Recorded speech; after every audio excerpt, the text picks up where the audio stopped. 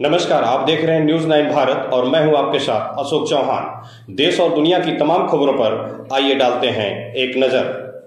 बरेली नगर पालिका परिषद फरीदपुर नगर के एक तरफ़ डग्गा मार वाहनों और अवैध ई रिक्शा की भरमार है। वहीं दूसरी तरफ़ सड़क के किनारे और नाले पर अवैध दुकानदारों ने अतिक्रमण कर रखा है, जिसको लेकर पालिका अधिशासी अधिकारी डॉक्टर नितिन गंगवार ने ई रिक्शा से नगर से मुनादी कराई थी और चेतावनी भी दी थी कि जिसके चलते आज पालिका प्रशासन फरीदपुर ने नगर को अतिक्रमण मुक्त कराने के लिए नई रणनीति तैयार की और अचानक अभियान चलाकर अतिक्रमण हटाने हटाते हुए कई दुकानदारों पर जुर्माना लगाया और फैले अतिक्रमण का सामना पालिका वाहन से भरकर शेष अतिक्रमण और फैलाए दुकानदारों को एक दिन का समय दिया और जिम्मेदार अफसरों की ज़िम्मेदारी तय कर दी और आगे भी इसी तरह अतिक्रमण के खिलाफ रणनीति बदलकर अचानक मौके पर पहुंचेगा।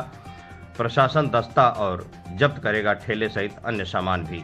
न्यूज़ नाइन भारत के लिए मोहित शर्मा के साथ प्रमोद शर्मा की खास रिपोर्ट। अतिक्रमण हटाया गया है। इसमें कितने लोगों का खिलाफ कार्रवाई की गई है? नगर में बढ़ते अतिक्रमण को दृष्टिगत रखते हुए आज अतिक्रमण हटाओ अभियान नगर पालिका द्वारा चलाया गया है। और कई लोगों को चेतावनी दी गई है कि वो जल्द ही अपना अतिक्रमण, स्थायी अतिक्रमण हटा लें। और अस्थायी अतिक्रमण तुरंत ही हटा दिया गया है। पाँच से छः लोगों का के ऊपर जुर्माना भी लगाया गया। प्लास्टिक जब्तीकरण का भी अभियान साथ ही चला है। आगामी दो तीन दिनों तक लगातार ये अतिक्रमण अभियान चलेगा। आम व्यापारी बंधुओं से निवेदन है कि अतिक्रमण हटाने में नगर पालिका का सहयोग करें। धन्यवाद।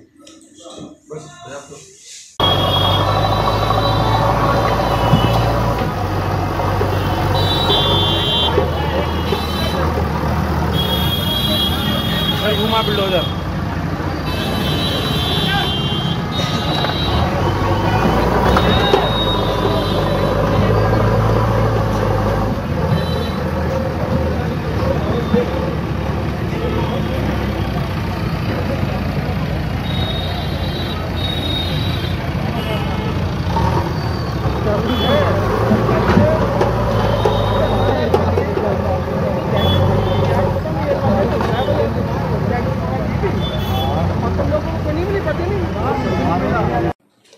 यहाँ खबरों का सिलसिला कभी नहीं थमता। सिर्फ़ और सिर्फ़ बने रहिए न्यूज़ नाइन भारत पर। अब चाहूँगा इजाज़त। नमस्कार।